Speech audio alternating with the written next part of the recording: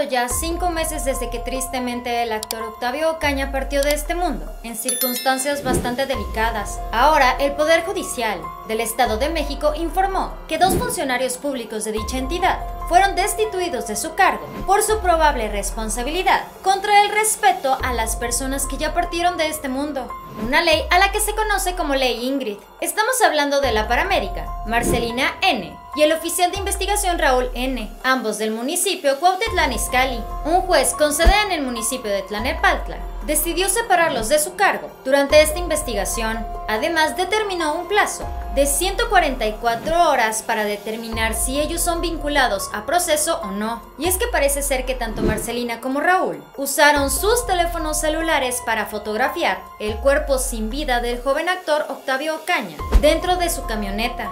Rápidamente estas imágenes estuvieron por todo internet, por lo que ahora estas personas están viviendo un proceso judicial en su contra, así como también tendrán que pagar multas económicas. A través de medios de comunicación se dijo lo siguiente, además de la separación de su cargo, se le impuso a Marcelina N la presentación de una garantía económica de 5 mil pesos, mientras que Raúl N una garantía económica de 8 mil pesos, pues siguen su proceso en libertad. Recordamos que el pasado 29 de octubre del 2021, Octavio Ocaña partió de este mundo, en circunstancias diversas. Esto después de que algunos oficiales lo estuvieron siguiendo después de marcarle un alto, por presuntamente haberse pasado una luz roja. La camioneta que el joven actor conducía se dio contra la autopista, aunque lo raro fue que en la investigación mencionaron que Octavio había partido de este mundo, ya que con un instrumento para quitarse la vida, él se dio en la cabeza. Según la investigación de la Fiscalía de Justicia del Estado de México, Octavio Ocaña sí se quitó su propia vida, pero la familia del actor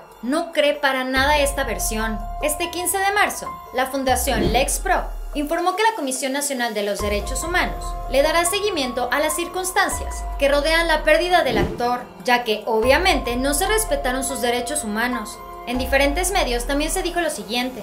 En el documento, la Fundación explica que derivado de las violaciones graves a derechos humanos cometidos por las autoridades, la Comisión tiene elementos suficientes para ejercer su facultad de atracción y dar seguimiento puntual a las investigaciones. Este texto también fue difundido a través de las redes sociales de Nerea Godínez, la que en ese momento era prometida de Octavio. Esta fundación también reiteró su apoyo a los familiares de Octavio, asegurando que ellos harán todo lo posible en esta investigación. La única intención de los familiares de Octavio es que se aclaren los hechos. Ellos saben que Octavio no se quitó su propia vida. Ellos están seguros que algún oficial fue quien le provocó la pérdida a Octavio. Esto fue Famosos de Cerca. Dale like a este video, suscríbete y síguenos en Facebook.